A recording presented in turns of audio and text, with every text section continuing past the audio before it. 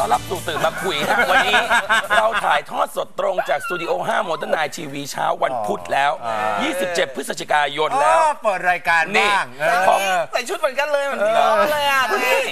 เออเหมือนกันอีแป๊บเดียวนี่มันจะสิ้นปีแล้วเนาะอะก็ได้รางวัลดีเร็วไวมากเลยเดือนเดียวเองนะสิ้นปีเขาแป๊อะบเดียวเร็วว่าเอาแล้วสาวงามของดิฉันไปไหนคุเนี่ณยธัญญาวันนี้เออลาเนี่ยต้องบอกว่าจริงๆแล้วเนี่ยอ่าเธอไปทำภารกิจส่วนตัวนะครับแต่ส่วนตัวบอกเลยว่าเมื่อวานนี้หลังจากที่พวกอ่าเรา Happy Birthday ธัญญาไปเลยเนี่ยพอจบปุ๊บเนี่ยเขาไปที่นี่ครับไปที่โรงพยาบาลสงฆ์มันสงนะครับไปฉลองวันเกิดนะครับไปทำบุญอ่าพร้อมกับน้องลียาเนาะไปกันสองคนน่ารักน่าลูกคู่นี้นะฮะทั้งสองก็ได้ทำบุญบริจาคน่ารักตามศรัทธานะครับ มีทำบุญเลี้ยงเพนพระด้วยมีบริจาคต้องบริจาคเลือกแต่เป็นเงินก็ได้นะเออดูจากสีหน้าของธัญญาแล้วรู้รู้เลยแล้ววาอิ่มบุญจริง ๆ นะครับ ค่ะก็ธัญญาพักนี้ก็ทำบุญธรรมะธรรมโมไปไปกับคุณวุฒิวันนั้นเราก็ไปมาทำบุญกันเกือบทุกวันเลยนะพี่ คะเราทำบุญกันเกือบทุกวันเลนี่ย อยากจะบอกว่าถ้าสมมติคุณมีโอกาสไปโรงพยาบาลสงฆ์เนี่ยพี่ตักข้างบนเนี่ยเขาจะมีแบบว่ามีโอกาสถ้ามีโอกาสขึ้นไม่รู้ว่าทุกวันนี้เขาให้ขึ้นป่ะนะครับ ไปเนี่ยไปดูใช่ไหม คุณจะ คุณจะแบบเหมือนคนละฟิลกับที่คุณไปบ้านเด็กใช่ไหมคนละแบบคนละแบบคนละคนแบละบแบบพระบางคนเนี่ย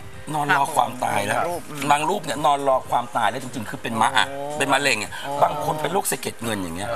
คือถ้าสมมติเคยถามว่าขาดขาดเหลืออะไรค่ะเขาบอกว่าขาดเหลือเนี่ยคือหนึ่งพระพระอ้อมสำหรับผู้ใหญ่อะ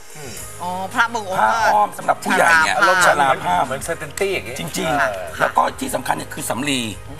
สำลีอะไรไว้เงี้ยถ้าสมมติมีโอกาสสำลีสำหรับการเปลี่ยนการเช็ดการกระดาษทิชชู่ครับขายครับ อะไรที่เป็นของชำระเนี่ย คุณมีโอกาสคุณเอาขึ้นไปฮะเขาจะแบ่งเป็นชั้นๆเลยพระสำหรับพระเป็นโรคมะเร็งจะอยู่ชั้นอะไรอะไรอย่างเงี้ยคือพระที่เราจะเห็นว่าเออ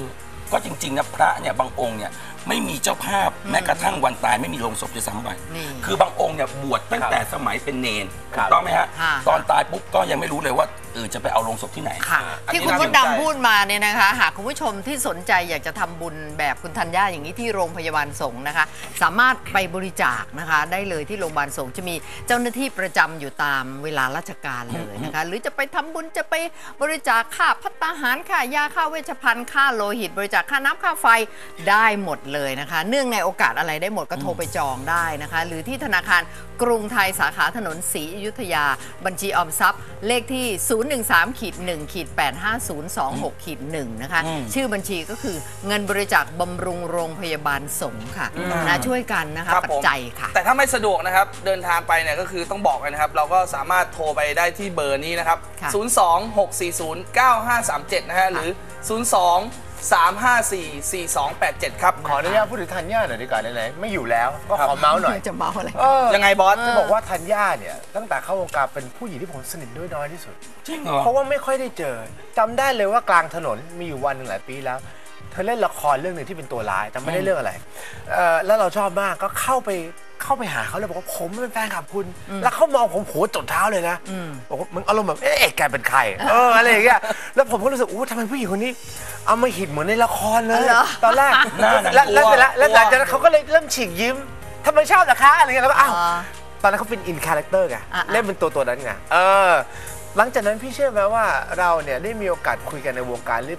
รื่อยๆ แต่ไม่เคยได้มีโอกาสใกล้ชิดจนกระทั่งมาทำตื่นมาคุยอ่าต้องบอกคุณผู้ชมว่าธัญญาเนี่ยเป็นคนที่มีวินัยมากมากนะครับใช่และเป็นผู้หญิงที่รักครอบครัวมาก และที่สำคัญเลยเธอเป็นคนซึ่ง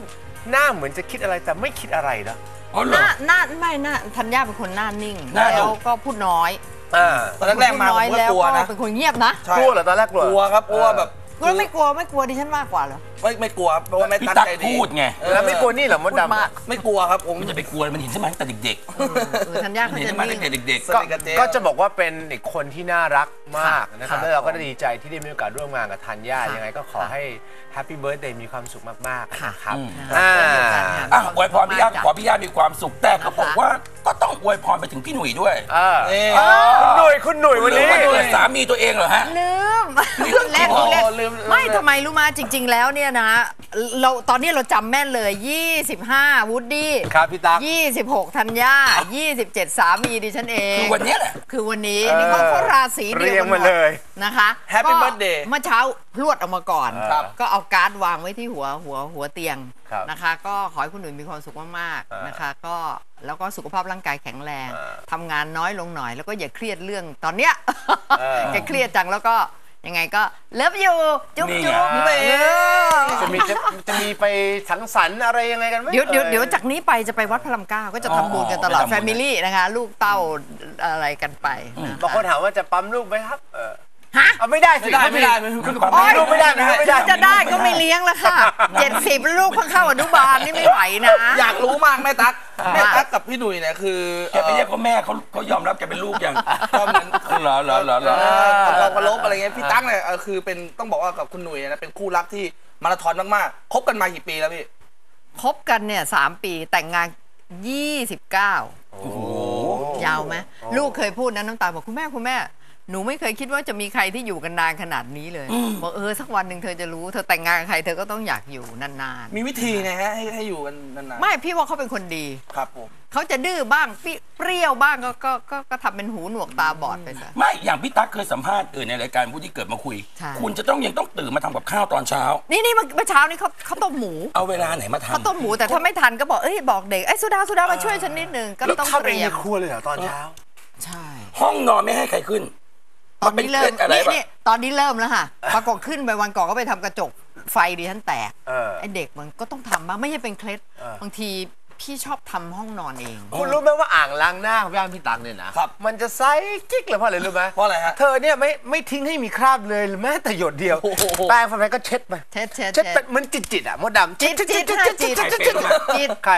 นันทิดาก็เป็น อ๋อเหรอนันทิดาเป็น ตู่ก็เป็นเหรอ เป็น โอ้ยนันทิดาพอๆกับมายุราเนี่ยเราอ๋เดิอนเหรอ ไม่กวาดทั้งวันเหมือนกันี่นวันหลังเชิญคุณตู่มาคุยวันก่อนเจอกันที่ยิม แทนที่จะได้รีบกลับบ้านกลับไม่ได้ ป้าป้าป้าเขาเรียกเราป้าเออป้าป้ามันดูบ้านหนูเลี้ยวรถไปส่งเขาเพราะบ้านอยู่ใกล้กันเออ โอ้โหคุณตู่ก็ทำต้นไม้ทำบ้านเนี้ยตู่ก็น่ารักตู่ก็เป็นคนพูดน่าแล้วรัเขากบอกมาว่ากก่อนนอนเนี่ย คุณก็จะต้องนอนหลังสามีจริงเหรอ ตอนนี้เริ่มก่อนแล้วเพราะสามีดูเมื่ออะไรก่ก็อนไม่รู้เนี่ยเมื่อเริ่มก่อนเนี่ยดูไอ้อย่างที่เขาดูกันตอนเนี้ยเริ่มดึกเออนอนหลังนิดๆแต่ตื่นก่อน โอ้โหพี่ตาไม่ไม่ได้เป็นคนดีอะไรนะ แต่ว่าเป็นคนชอบที่จะทำแบบนี้